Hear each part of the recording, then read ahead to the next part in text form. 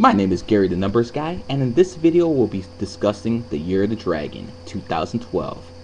A lot of people don't understand Chinese astrology that well in the West. Well, we'll see if they, we can change that a little bit.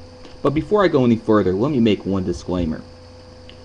Numerology supersedes any form of astrology, whether it be Chinese, Indian, Western, or Vedic. It doesn't matter.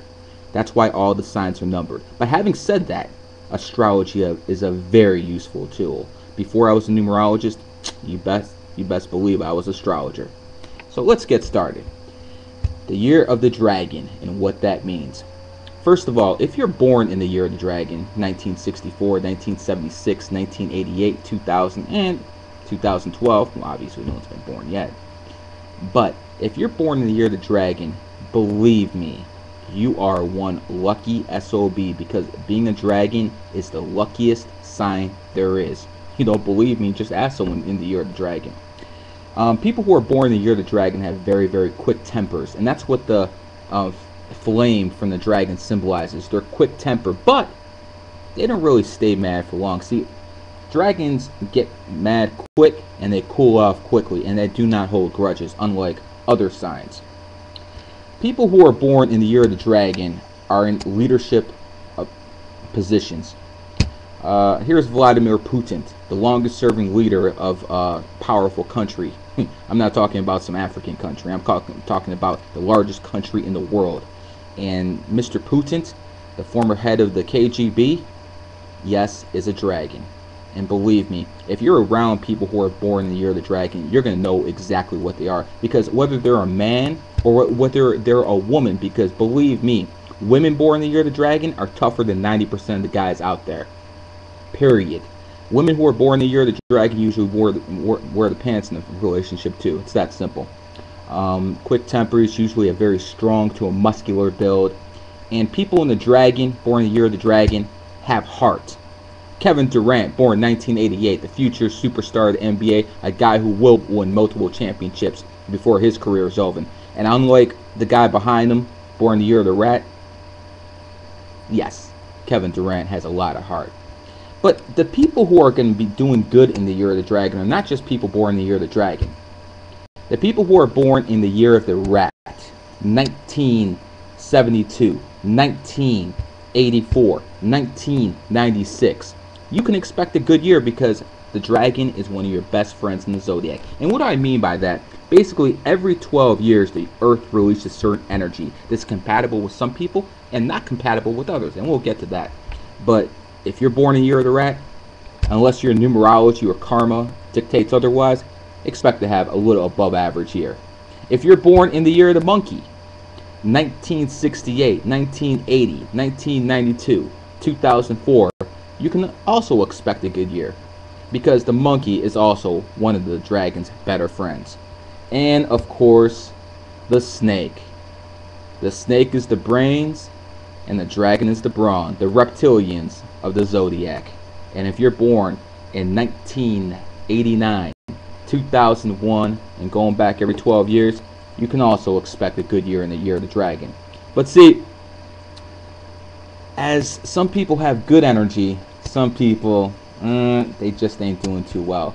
Because whether you're an animal and just happen to be a dog, or whether you know you have a dog, or whether you're born in the year of the dog, like George W. Bush, um, I'm sorry to tell you, but 90% of you guys are going to be in for a tough, tough year. So a few predictions I will make. George Bush, born in 1946, will be in the news with health problems. Bill Clinton, born 1946, might have health problems, could be a scandal, but something's going to break with these guys. If you're a sports fan, people born in 82, unless it's the very beginning of the month in January, which isn't a dragon, which is still a cat, you know, it, the Chinese zodiac switches every year at different times. But if majority of the players who are born in 1982, like Cleveland Indians star Shin-Soo Choo, are going to have off years. If you're a fan of New York Knicks, sorry, Amar'e Stoudemire, born in 82, yeah, he's going to have a tough year, as in most people born in 1982. The best advice I can give people born in 82, the energy's not with you this year. So what do you do? Minimize your risk. play very conservative this year. That's the best way to do it. Another thing to expect in the year of the dragon is the rise of China. China is known as the dragon, and believe me, there is a big, big reason why. I mean, if you really think about it, dragons and uh, dogs are enemy signs, and if you go into China, yeah, they kind of eat dogs there. Um, what to you have to understand that the dragon is not a diplomat.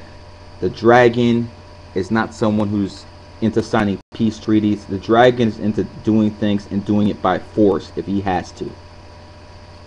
And it's very, very easy to see that the energies in the air, especially since this is a five-year numerology too, universal year 2012 adds up to a five, you're going to see a lot of confrontation this year. Iran, that's going to be a major focal point this year. India, Pakistan, that's going to be another major focal point going all the way to 2003. So yes, in the year of the dragon, expect a lot of conflict because dragons sure as hell are not diplomats. You can always tell a dragon because they're always barking orders, telling people what to do, and that's just the way they are. They don't understand any better. Trust me about this. They don't get it. The best way to deal with someone born in the year of the dragon is basically to put an idea in his head and make him think, or her make him think they came up with it. That's the best way to deal with dragon. Dragons are the most powerful signs in the whole Chinese zodiac. So having said that, I'm going to make another video about all what every single sign means. But like I said, if you're born in the year of the rat, the year of the monkey, year of the dragon, year of the snake, expect a pretty good year unless you're in numerology and karma dictate otherwise. If you're born in the year of the dog, 1970, 1982, 1994, well, hey, it happens to everyone every every 12 years. So it's your turn, guys. Like I said, play conservatively and you do very well. Again, my name is Gary the Numbers Guy, and this is what to expect in the Year of the Dragon.